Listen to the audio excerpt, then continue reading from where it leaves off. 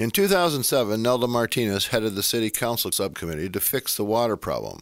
After five more water boils, we found out those solutions were never implemented.